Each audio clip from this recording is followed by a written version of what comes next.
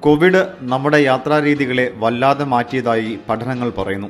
പൊതുഗതാഗത സംവിധാനങ്ങളെ ആശ്രയിച്ചിരുന്ന ഒരു വലിയ വിഭാഗം ആളുകൾ സ്വകാര്യ വാഹനങ്ങൾ വാങ്ങി. കോവിഡ് ആശങ്കയും ലോക്ഡൌൺ കാലത്തെ ബുദ്ധിമുട്ടുകളും ഇതിന് കാരണമായി പറയുന്നു. ഇത്തരത്തിൽ ആദ്യമായി ബജറ്റിലൊതുങ്ങുന്ന ഒരു വാഹനം വാങ്ങുവാൻ ആഗ്രഹിക്കുന്നവർ ഇരുചക്ര വാഹനങ്ങളാകും തിരഞ്ഞെടുക്കുക. വാഹനം വാങ്ങുമ്പോൾ വിലയും ഇന്ധനക്ഷമതയും ഒക്കെ ചോയ്സുകളെ സ്വാധീനിക്കുന്നു. ബൈക്ക് വാങ്ങുവാനാണ് ആഗ്രഹിക്കുന്നെങ്കിൽ ഒരു ലക്ഷം രൂപയിൽ താഴെ വിലയുള്ള നിരവധി വാഹനങ്ങളുണ്ട്.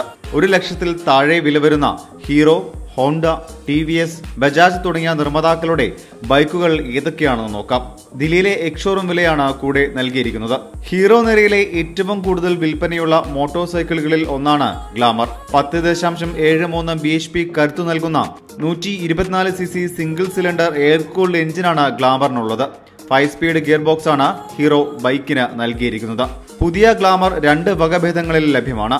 എഴുപത്തി എണ്ണായിരം രൂപ വിലയുള്ള സെൽഫ് സ്റ്റാർ ഡ്രം വേരിയന്റും സെൽഫ് സ്റ്റാർ ഡിസ്ക് വേരിയന്റിന് എൺപത്തിരണ്ടായിരം രൂപയുമാണ് വില. ഹോണ്ട ഇന്ത്യയിൽ ഇതുവരെ നിർമ്മിച്ചതിൽ വെച്ച് ഏറ്റവും വിശ്വസനീയവും ഗുണനിലവാരമുള്ളതുമായ ഇരുചക്ര വാഹനങ്ങളിൽ ഒന്നാണ് ഷൈൻ.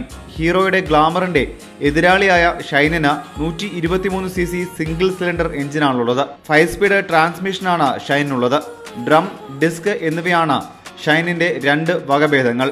ഡ്രം ബ്രേക്കുള്ള മോഡലിന് എഴുപത്തി എണ്ണായിരം രൂപയാണ് വിലയെങ്കിൽ രണ്ടാമത്തേതിന് എൺപത്തി രണ്ടായിരം രൂപയാണ് വില. സി ടി ഹൺഡ്രഡിനെ കൂടാതെ ബജാജിന്റെ ഏറ്റവും കൂടുതൽ വിറ്റഴിക്കപ്പെടുന്ന ബൈക്കാണ് പ്ലാറ്റിന. എട്ട് ദശാംശം ഏഴ് ഒന്ന് ബി എച്ച് പി നൽകുന്ന നൂറ്റി പതിനഞ്ച് സി സി സിംഗിൾ സിലിണ്ടർ എഞ്ചിനാണ് പ്ലാറ്റിനയ്ക്കുള്ളത്. പത്തര ലിറ്റർ ഇന്ധന ടാങ്ക് ശേഷിയുണ്ട്. എക്സോറും വില ആരംഭിക്കുന്നത് എഴുപത്തിരണ്ടായിരം രൂപയിലാണ്.